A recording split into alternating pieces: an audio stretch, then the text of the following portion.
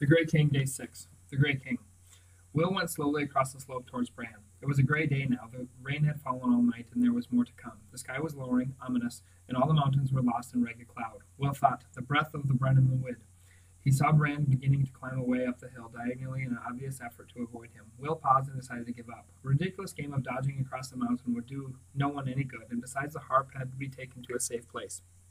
He set off through the wet rock and on the long, muddy walk to the far side of Caradog Pritchard's farm. His trousers were already soaked, in spite of Wellington's boots borrowed from Aunt Jen. Part way, he crossed the land that had been swept up by the fire, and a thin mud of black ash clung to his boots. Will strode along moodily. He glanced round now and then in case Caradog Pritchard were about, but the fields were deserted and oddly silent. No birds sang today. Even the sheep seemed quiet, and there was seldom the sound of a car drifting from the valley road.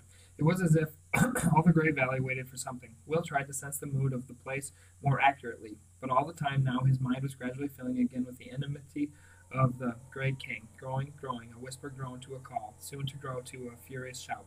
It was difficult to find attention for much else.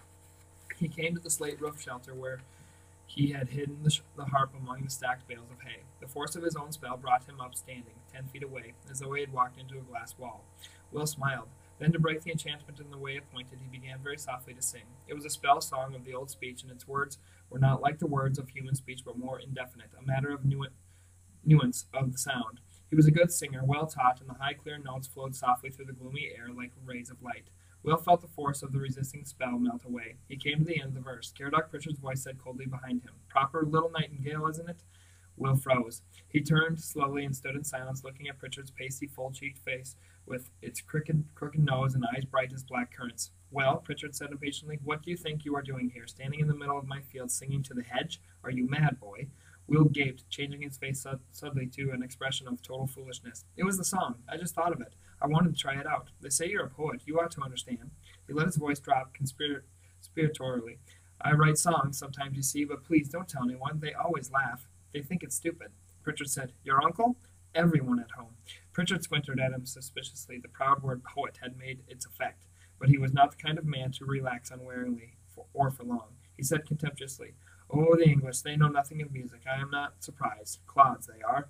You have a very good voice for an English boy. Then his voice sharpened suddenly. But you weren't singing English, were you? No, Will said. What then? Will beamed at him confidently. Nothing, r- really. They were just nonsense words that they seemed to go with the tune. You know. But the fish did not bite. Pritchard's eyes narrowed. He looked in a quick, nervous movement up the valley towards the mountains and then back at Will. He said abruptly, I don't like you, English boy. Something funny about you there is. All this about songs and singing does not explain why you're standing here on my land. Taking a shortcut, that's all, Will said. I wasn't hurting anything, honestly. Shortcut, is it? From where to where? Your uncle's land is all over there, where you came from, and nothing is on the other side of us except moor and mountain. Nothing for you. Go back to Clwyd, Nightingale. Back to your sniveling little friend who lost his dog. Off. Off out there. Out of here. All at once he was shouting, the pudgy face dusky red. Get out, get out. Will sighed. There was only one thing to be done. He had not wanted to risk attracting the closer attention of the Grey King, but it was impossible to leave the harp vulnerable to Caradog Pritchard's eye. The man was glaring at him now, clenching his fists in a fit of the same unaccountable, vicious rage that Will had seen overtake him before. Get out, I tell you. There in the open field, under the still gray sky, Will stretched out one arm, with all five fingers stiff and pointing, and said a single quiet word. And Caradog Pritchard was caught out of time, immobile, and his mouth half, half open and his hand raised pointing, his face frozen in exactly the same ugly anger that had twisted it when he shot the dog Cafall. It was a pity, Will thought bitterly, that he could not be left that way forever. but no spell lasts forever, and most for only a short breath of time. Quickly, Will went forward to the stone shelter, reached in between the bales of hay, and pulled out the gleaming little golden harp. One corner of its frame was caught on an old tattered sack left among the bales. Impatiently he tugged both harp and sacking free, bundled them together under his arm. Then he moved rou- round to stand behind Caradog Pritchard. Once more he pointed a stiff-fingered at, hand at him and spoke a single word, and Caradog Pritchard, as if he had never intended to do anything else, plodded off across the field towards his farmhouse without once turning around.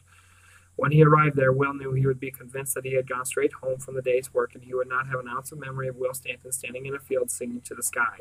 The plodding, paunchy form disappeared over the stile at the end of the field. Will untangled the old sack from the harp's intricate golden frame and was about to toss it aside when he realized how useful it would be as a covering.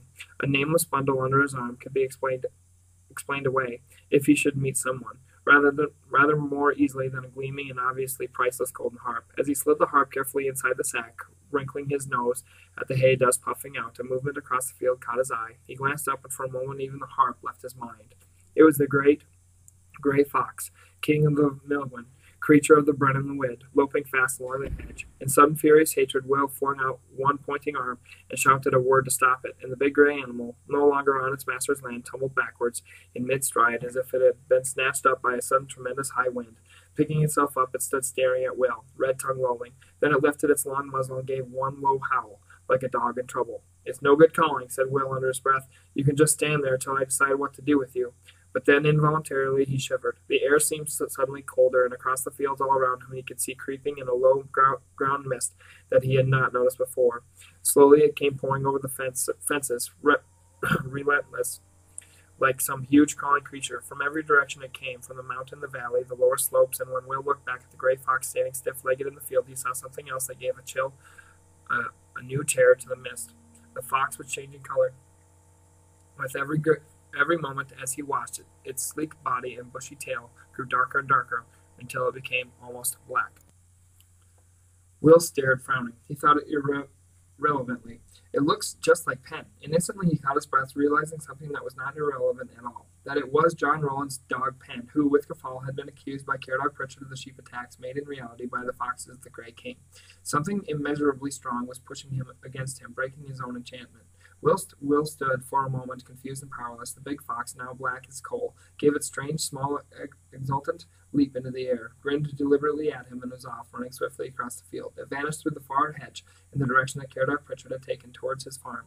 Will knew exactly what was likely to happen when it got there, and there was nothing he could do. He was held back by the power of the Grey King, and reluctantly now he was facing an idea to which he had not given a thought before the possibility that this power, much greater than his own, was in fact so great that he might not might never be able to accomplish his allotted quest. Setting his teeth, he gripped the shrouded harp beneath his arm and set off across the field towards Clwyd Farm. Carefully, he slipped under the barbed wire edging the field, across the corner of the next, clambered over the stile leading into the lane, but all the time his steps grew slower and slower, his breathing more labored. Somehow, there beneath his arm, the harp was growing heavier and heavier until he could scarcely move for the weight of it. He knew that it was not a matter of his own weakness. Against his resistance, some great enchantment was giving to the precious thing of power in his arm a heaviness impossible for any human strength to support. Clutching at the harp, he grasped with pain at its impossible weight and sank down with it to the ground. As he crossed there, he raised his head and saw that the mist swirled everywhere around him now. All the world was gray white, featureless. He stared into the mist, grad- and gradually the mist took shape. The figure was so huge that at first he could not realize it was there. It stretched wider than the field and high into the sky. It had shape, but not recognizable earthly shape. Will could see its outline from the corner of his eye, but when he looked directly at any part of it, there was nothing there. Yet the, there the figure loomed before him, immense and terrible, and he knew that it was a being of great power than anything he had ever encountered in his life before. Of all the great lords of the dark, nothing, none was singly more powerful and dangerous than the Grey King.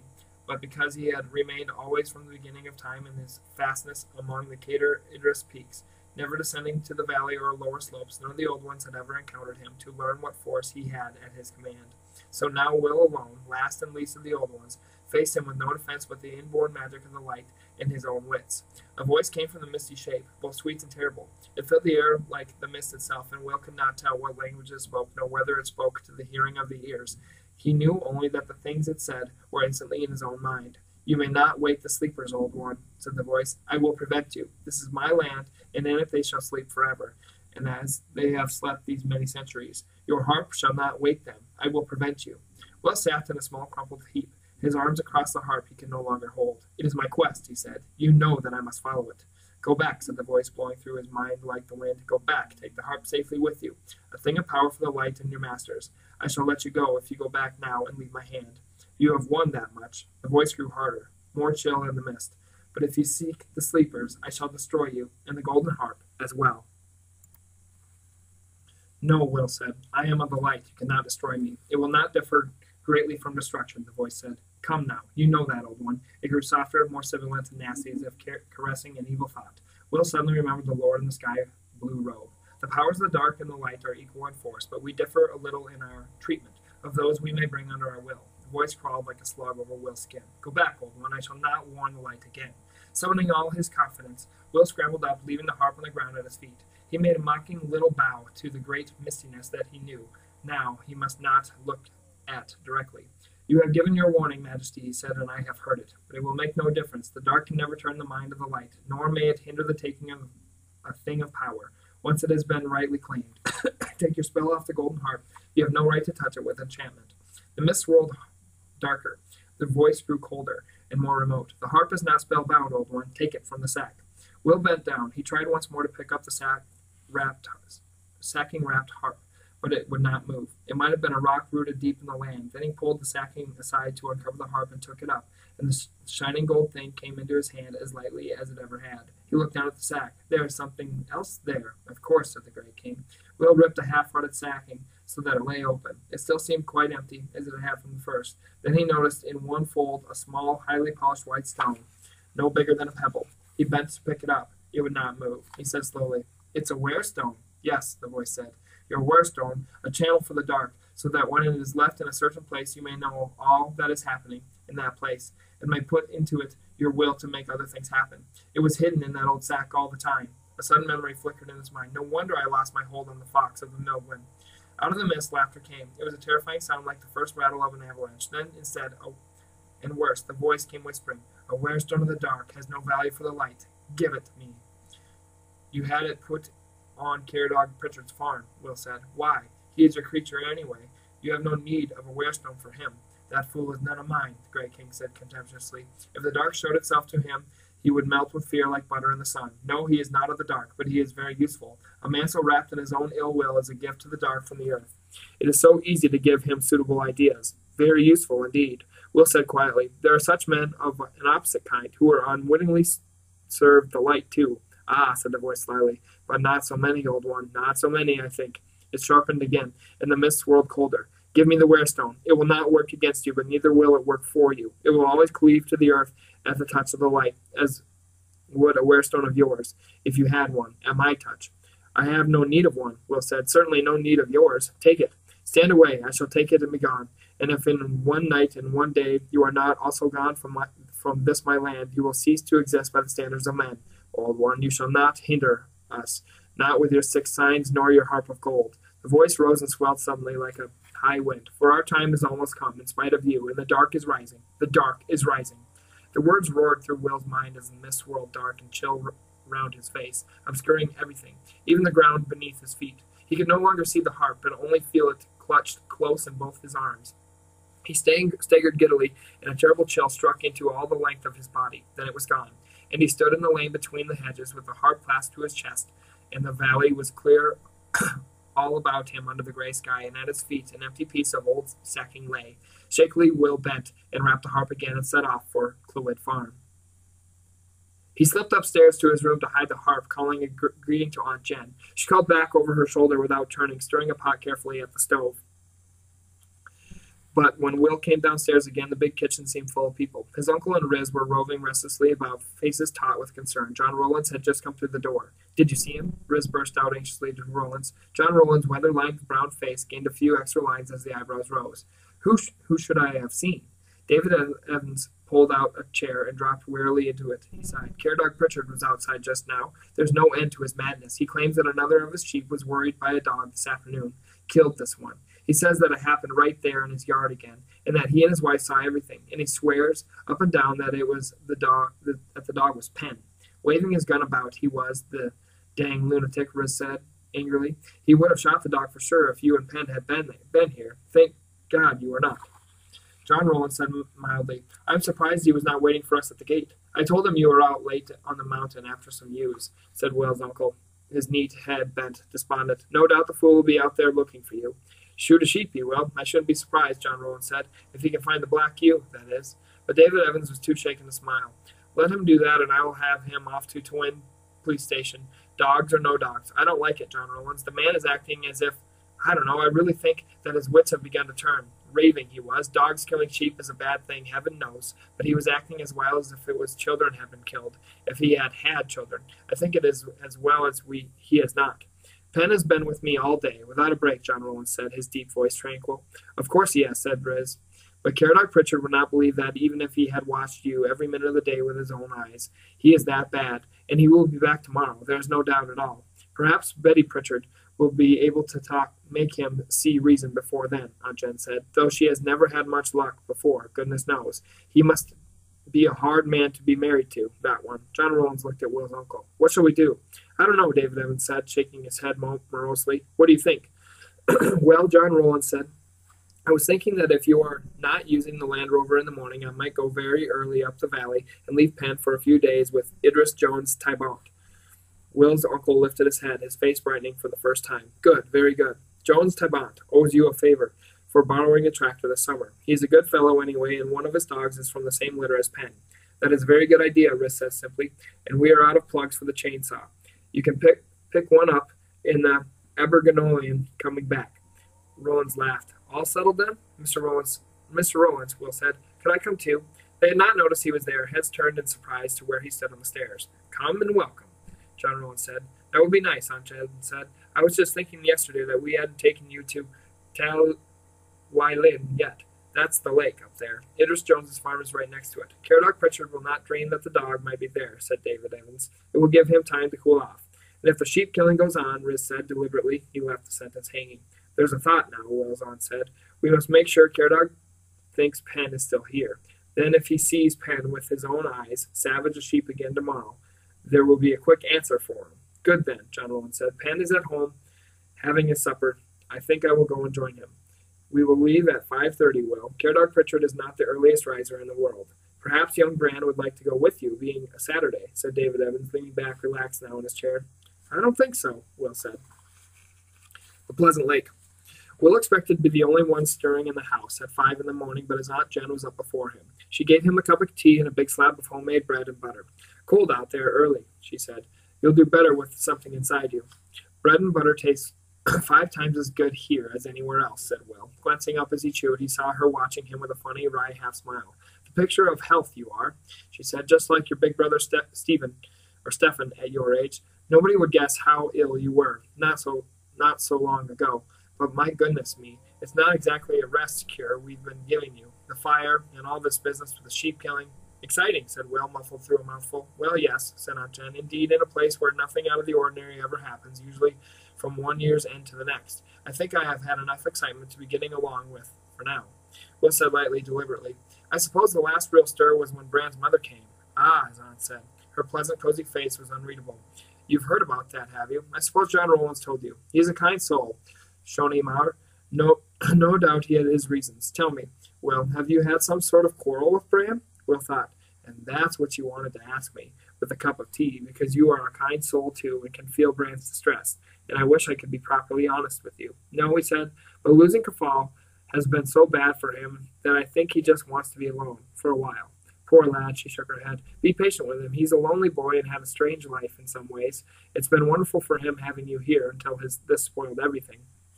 A small pain shot through Will's forearm. He clutched it and found it came from the scar of the light, his burned, his burned-in brand. He said suddenly, "Did she ever come back at all? Ever, Aunt Jen, Bran's mother? How could she just go off and leave him like that? I don't know." His aunt said, but no, there was no sign of her ever again. In one minute, to go away forever. I think that must bother Bran a lot. She looked at him sharply. Has he ever said anything about it? Oh no, of course not. We've never talked about that. I just felt, I'm just sure it must bother him underneath. You're a funny boy yourself, said his aunt curiously. Sometimes you sound like an old man. Comes from having so many brothers and sisters older than you, I suppose. Perhaps you understand Bran better than most boys could. She hesitated for a moment, then drew her, her chair closer. I will tell you something, she said, in case it might help Bran.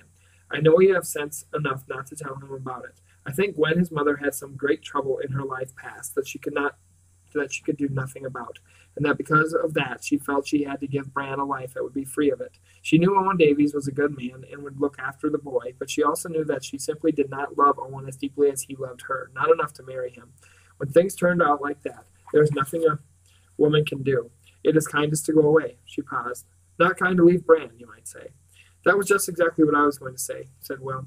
Well, said his aunt, Gwen said something to me in those few days she was here, when we were alone once. I have never talked about it, but I have never forgotten. She said, If you have once betrayed a great trust, you dare not let yourself be trusted again, because the second betrayal would be the end of the world. I don't know if you can understand that. You mean she was frightened of what she might do? And more frightened of what she has done, whatever it was. So she ran away, poor Gran. I said, Well, poor Owen Davies, said his aunt. There was a gentle knock at the door, and John Rowlands put his head inside. Bore da, he said. Ready, Will? Bore da, John, said Aunt Jen, smiling at him. Pulling on his jacket, Will turned suddenly and gave her a clumsy hug. Thank you, Aunt Jen. The smile brightened with pleasure and surprise. we'll see you when you when we see you, she said. John Rowland said as he started the car outside the farm. Fond of you, your auntie. Will held open the door for Pen to scramble up. The dog jumped over the seat into the back and lay docile on the floor. I'm fond of her too, very. So is my mum. Be careful then, won't you? John Rowland, uh, Rowland said. He, his seamed brown face was innocent of all expression, but the words had forced. Had force. He looked at Will rather coldly. What do you mean? Well, Roland said, carefully turning the Land Rover into the road, I am not at all sure what it is that is going on all around us, Will Bach, or where it is leading. But those men who know anything at all about the light also know that there is a fierceness to its power, like the bare sword of the law, or the white burning of the sun. Suddenly his voice sounded to Will very strong and very Welsh. At the very heart, that is. Other things like humanity and mercy and charity, that most good men hold precious than all else. They do not come first for the light. Oh, sometimes they are, often indeed, but in the very long run, the concern of you people is with the absolute good, ahead of all else. You are like fanatics, your masters at any rate, like the old crusaders. Oh, like certain groups in every belief, though this is not a matter of religion, of course. At the center of the light there is a cold white flame, just as at the center of the dark there is a great black pit, bottomless as the universe. His warm, deep voice ended, and there was only the roar of the engine. Will looked out over the gray, misted fields, silent. There was a great long speech now, John Rowland said awkwardly, but I was only saying, be careful not to forget that there are people in this valley who can be hurt, even in the pursuit of good ends. Will heard again in his mind and Bran's anguished cry as the dog Cafall was shot dead, and heard his cold dismissal. Go away, go away. And for a second, another image, unexpected, flashed into his mind out of the past. The strong, bony face of Merriman, his master, first of the old ones, cold in judgment, of a much loved figure who, through the frailty of being no more than a man, had once betrayed the cause of the light. He sighed. I understand what you are saying, he said sadly, but you misjudge us, because you are a man yourself. For us, there is only the destiny, like a job to be done. We are here simply to save the world from the dark. Make no mistake, John. The dark is rising, and will take the world to itself very soon if nothing stands in its way. And if that should happen, then there should be no question ever for anyone, either of warm charity or of cold, absolute good. Because nothing would exist in the world or in the hearts of men except the bottomless black pit. The charity and the mercy and the humanitarianism are for you, and they are the only things in which men are able to exist together in peace.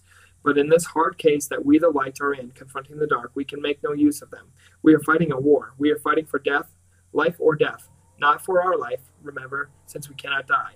For yours. He reached his hand behind him over the back of the seat and Pen licked it with his floppy wet tongue. Sometimes, Will said slowly, in this sort of war, it is not possible to pause, to smooth, the way for one human being, because even that one small thing could mean an end of the world for all the rest.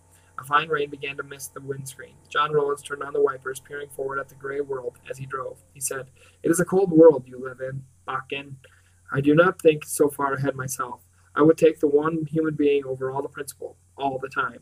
Will slumped down low in his seat, curling into a ball and pulling up his knees. Oh, so would I, he said sadly. So would I if I could. It would feel a lot better inside me, but it wouldn't work. Behind them, Pen leapt unexpectedly to his feet, barking. Will uncoiled like a startled snake. John Rowlands braked sharply, half turning, and spoke swift and low to the dog in the Welsh. But still Pen stood in the back of the Land Rover, stiff as a stuffed dog, barking fiercely, and in the next moment, as if he were observing something outside himself.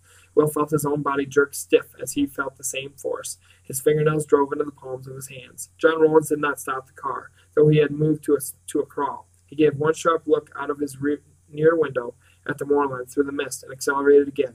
In a moment or two, Will felt the tension go out of his limbs and sat back gasping. The dog, too, stopped barking, and in the sudden loud silence lay down meekly on the floor as if he had never moved at all. Rowland said with a tightness in his deep voice, We have just come past the cottage, the empty cottage, where we lost the sheep. Will said nothing. His breath was coming fast and shallow as it had when he first came out of the worst of his illness, and he his hunched his shoulders and bent his head beneath the fierce weight of the power of the Grey King. John Rowlands drove faster, pulling the tough little car round blind, slated wall turns. The road curved across the valley. Great new slopes rose on its eastern side, swooping up into the sky bare and gray, treacherous with scree. Everywhere they loomed over the gentle green fields, dominant, menacing. And then at last there were signs of side roads and scattered gray slated roof houses, and before them, as Roland slowed for a crossroad, Will saw the lake of Tal Wai. His aunts had called it the loveliest lake in Wales, but lying dark there in the gray morning, it was more sinister than lovely. On its black, still surface, not a ripple stirred. It filled the valley floor. Above it reared the first slopes of Cader Idris, the mountain of the great king, and beyond, at the far end of the valley, a pass led through the hills, away, Will felt, toward the ends of the world. He had himself under control now, but he could feel the tension quivering in his mind. The great king had felt his coming, and the awareness of his angry hostility was as clear as if it were shouted aloud. Will knew that it could not be long before one of the watchers, a peregrine curving high over the slopes, would catch clear sight of him. He did not know what would happen then. John Rowlands turned the Land Rover down a rough track away from the lake, and before long they came to a farm tucked beneath the lowest slopes of Cader Idris. Will jumped out to open and close the gate, and as he trudged up into the farmyard, he saw a small man in a flat cap come out of the house to greet the car. Dogs were barking. He could see one of them waiting a little way off where the farmer had left it, a sheepdog, a little smaller than Pen, but with exactly the same black coat and the splash of white under the chin. Rowlands broke off an animated Welsh conversation as Will came up to them. Idris, this is a new helper I have, David Evans' nephew, Will, from England. How do you do, Mr. Jones? Will said. Idris Jones, Ty-Bont, twinkled at him as they shook hands. He had enormous, rather prominent dark eyes that made him look disconcertingly like a bush baby. How are you, Will? I hear you have been having fun with our friend Caradog Pritchard. We all have, John Rowan said grimly. He gave a whistle over his shoulder, and Pen leapt out of the car, glancing up as if seeking permission to leave, and trotted off to greet the other black dog. They circled another amiably without barking. Lala, there is a sister, believe it or not, Idris Jones said to Will. Came from the same litter, they did, over Nanas Way. That's a while ago, eh, John? Come along, come along inside now. Megan has just made the tea. In the warm kitchen, with stout, smiling Mrs. Jones, who was almost twice the size of her neat husband. The smell of frying bacon made Will ravenous all over again. He filled himself happily with two fried eggs, slick, thick slices of homemade, home cured bacon, and hot flat Welsh cakes, like miniature pancakes flecked with currants. Mrs. Jones began instantly chattering away to John Rowlands in a contented flow of Welsh, scarcely ever seeming to draw breath, or to give way to a phrase or two in her husband's light voice, or Roland's deep rumble. Clearly, she was enjoying relaying all the local gossip, gossip and collecting any that might emanate from Clwyd. Will, full of bacon and well-being, had almost stopped paying attention when he saw John Rowlands listening. give a sudden start and sit for- forward, taking his pipe out of his mouth. Rowlands said in English, "Up over the lake, did you say, Idris?" "That's right," Farmer Jones said, dutifully, watching, switching languages with a quick smile at Will. "Up on a ledge. I didn't have a chance to get too close, being in a hurry after my own sheep, but I am almost sure it was a Pentreath ewe. Not dead very long. I think the birds had not been at it enough, maybe a day or two.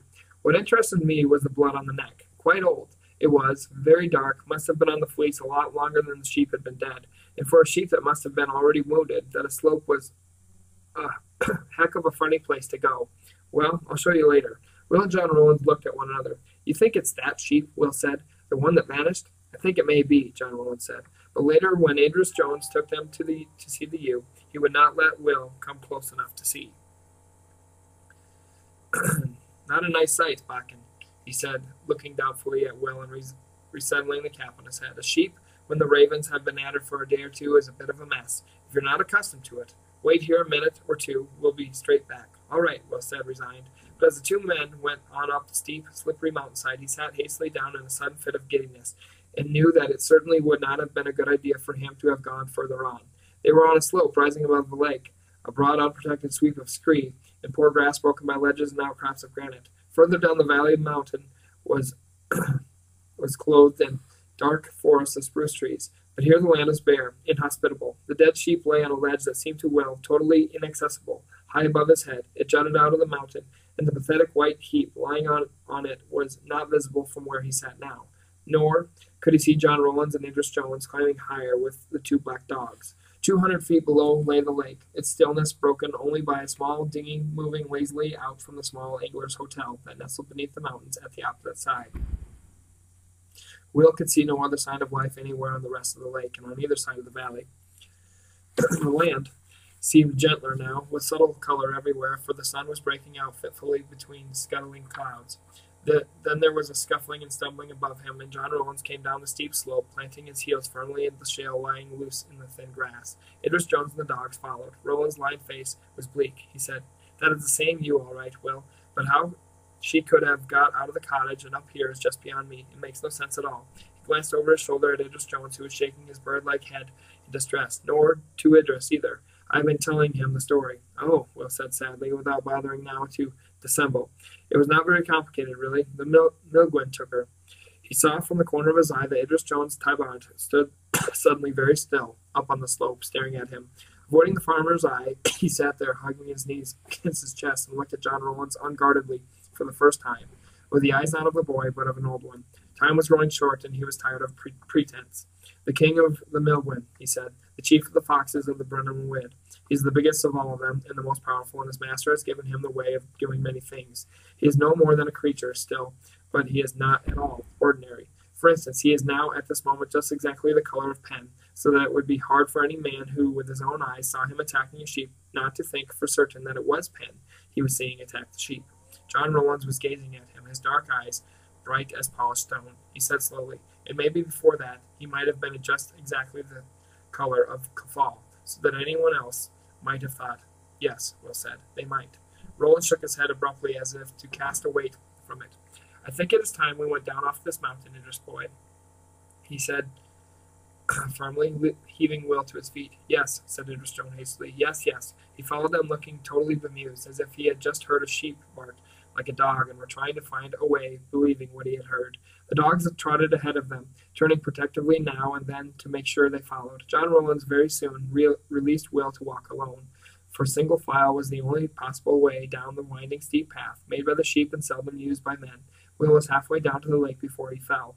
He could never explain the afterwards, how he had come to stumble. He could only have said very simply that the mountain shrugged, and even John Rowlands, in the height of trustfulness, could not have been expected to believe that. Nevertheless, the mountain did shrug through the malice of its master, the Brenin Llwyd, so that a piece of the path beneath Will's feet jumped perceptibly to one side and back again, like a cat humping its back. And Will saw with saw it with sick horror only in the moment that he lost his balance and went rolling down. He heard the men shout and was aware of a flurry of movement as Rowlands dived to grab him, but he was already rolling, tumbling, as it was only a ledge of granite jutting as the ledge on which he had found the dead sheep, that caught him from rolling the full hundred foot drop down to the edge of the lake. He came to a great thud against the jagged shelf of rock and cried out in pain as a shaft of fire seemed to shoot blazing up his left arm. But the rock had saved him. He lay still. Gentle as a mother John Rowlands felt along the bone of his arm. His face was a strange color, where the blood had drained away beneath the tan. Billy, he said huskily, you are a lucky one, Will Stanton. That is going to hurt a good deal for the next few days, but it is not broken anywhere so far as I can tell. And it might be well might well have been in smithereens. And the boy at the bottom of the linen Wingill, Idris Jones said shakily, straightening up and trying to recover his lost breath. How the devil did you manage to fall like that, bachgen? We were not going so very fast at all, but such a speed you went down. He whistled softly, took off his cap to wipe his brow. Gently does it, said John Rowlands, putting Will carefully back on his feet. Are you all all right to walk now? Not hurt anywhere else? I shall be okay, honestly, thank you. Will was trying to look around at Idris Jones. Mrs. Jones, what was that you called the lake? Jones looked at him blankly. What? You said the boy might have been at the bottom of the lake, didn't you? But you didn't say Talwai Lin. You called it by some other name. Llyn, something else. Llyn Mwyngil. That is a pro- its proper name, the old Welsh name. Jones was looking at him in a kind of dazed wonder, clearly suspecting the fall had knocked Will on the head. He added absently, It is a nice name, but not much used these days, even on the Ordnance Survey. It, like Bala, too. Now, now that should be the Llyn Tegid, as it always was, but they do not know more now anywhere they than call it Bala Lake. Will said, Llyn Mwyngil. What does it mean in English? Well, the lake in the pleasant place. Pleasant retreat, whatever. The pleasant lake, Will said. No wonder I fell. The pleasant lake. Yes, you could put it that way. Loosely, I, I suppose. Idris Jones collected his wits suddenly and turned in baffled anguish. John Rowlands, what is the matter with this mad boy you have found? Standing up here talking semantics on a mountain when he has just come to close to breaking breaking his neck. Get him down to the farm before he falls down in a fit and starts speaking with tongues. John Rowlands' deep chuckle had relief in it. Come on, Will. Plump Mrs. Jones clucked over Will in concern and put a cold comp- compress on his forearm. Nobody would hear of his doing anything or going anywhere. The patchy sunshine was warmer now, and Will found it not unpleasant at all to lie on his back in the grass near the farmhouse with Pen's cold nose pushing at his ear, and watch the clouds scud across the pale blue sky. John Rowlands decided that he would go to Abergynolwyn nearby to fetch the spark plug Rhys wanted from the garage there. Idris Jones discovered errands that meant he should go too. They both both announced firmly that Will should stay with Mrs. Jones and the dogs and rest. He felt that they were still recovering from his fall themselves, treating him as a fragile piece of china which, since it had magically survived without breakage, should be set carefully on a shelf and not move for a special conciliatory length of time. The Land Rover chugged away with, with the two men. Mrs. Jones fussed amiably to and fro until she had satisfied herself that Will was not in pain or any distress, and then went off and settled to pastry making in her kitchen. For a while, Will sat playly, playing idly with the dogs, thinking of the Grey King in a mixture of brief triumph, resentment, belligerence, and a nervousness of what might be going to happen next. For there was no escape now. He had known it, somehow, even when they had left that morning. His way lay firmly on into the middle of the heartland of the Brenin Llwyd. By the pleasant lake the sleepers lie, on Cadfan's way where the kestrels call. It had never occurred to him to follow the simplest route out of the conundrum and go out and walk along Cadfan's way until it led him to a lake. But there would have been no difference in the end. Sooner or later he would have come here, to Talwai Lin Wingil, the lake and the pleasant place under the shadow of the Grey King. Taking Pen with him and leaving a patient, resigned Lalla behind, he strolled beyond the farm gate and out down the slated fence lane. A few late blackberries hung down over the grassy bank, and a woodlark sang behind the fence. It might also have been summer, but though the sun shone in the distance over the brambles, Will could see mist round Cader Idris's peaks. He was in a dreamy, suspended state of mind, due partly to the aspirin Mrs. Jones had made him take for the pain in his arm, when all at once he saw a boy come hurtling down the lane towards him on a bicycle. Will jumped to one side. There was a squealing of brakes, a flurry of kicked up slate dust, and the boy collapsed in a pile of legs and spinning wheels on the other side of the lane. His cap tumbled off, and Will saw the white hair. It was Bran. His face was damp with sweat, his shirt clung stickily to his chest, and his breath came in great gulps. He had no time for greeting or explanation. Will, Pen, get him away from here. Hide him. Caradog Prichard found out. He's coming. He is as mad as a hatter. He swears he's going to kill Pen whatever, and he's on his way here now with his gun.